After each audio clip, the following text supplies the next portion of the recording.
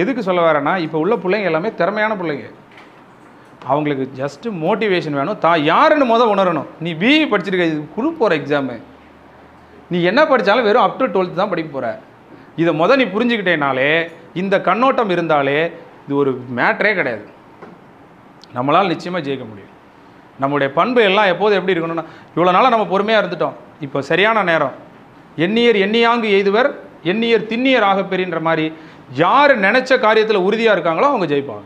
நீ உறுதியாக இருக்கீங்களா? எல்லோரும் உறுதியாக இருக்கிறீங்களா? அவ்வளோதான் நிச்சயமாக இந்த வருஷத்தை நம்ம யூஸ் பண்ணிக்கலாம். கால்ஃபர் வருது வரல. நீ வளர்ச்சி அடைஞ்சிருக்கியா? வாய்ப்பு கிடைக்கும் போது பயன்படுத்திக்கலாம். கொக்கக்க கூம்பும் பருவத்து மற்றதன் குத்தக்க சீர்த்த எடுத்துன்னு படிச்சிருப்பீங்க. கொக் வாய்ப்பற்ற காலத்தில் கொக்கை போல அமைதியாக இருக்க வேண்டும். கடைசியாக திருக்குறள் கவலைப்படாத. சரியா? வாய்ப்பற்ற காலத்தில் எதை போல் அமைதியாக இருக்கணும்? கொக்கை போல. கொக்கு வாய்ப்பில்லாத காலத்தில் அமைதியாக இருக்கிற நேரத்தில் அது டீவியேஷன் அங்கே எங்கே சுற்றிக்கிட்டு இருக்குமா? இல்லைன்னா ஒரே கவனமாக இறைய எதிர்பார்த்து காத்துட்டு இருக்குமா? சொல்லு பார்க்கலாம். என்ன அருமையான உதாரணம் பாருங்களேன். கொக்கு கொக்கை வச்சு அருமையாக முடிச்சிட்டாரு.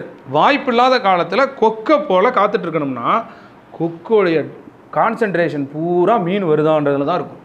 நீயும் அது போல் கால்ஃபர் வராத நேரம் வாய்ப்பற்ற காலத்தில் அந்த கொக்கை போல் அந்த இலக்கிலிருந்து டீவியேஷன் ஆகிடக்கூடாது காத்துட்டே இருக்கணும். சரி மீன் வந்துருச்சு. அப்போ கொக்கு என்ன செய்யும்?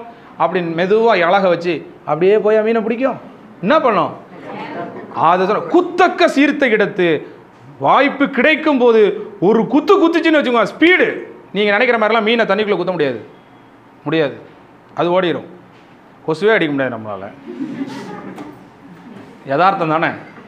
அப்படி இருக்கும்போது கொக்கு அவ்வளோ ஸ்பீடாக டகார்னு போய் தூக்கிடும்.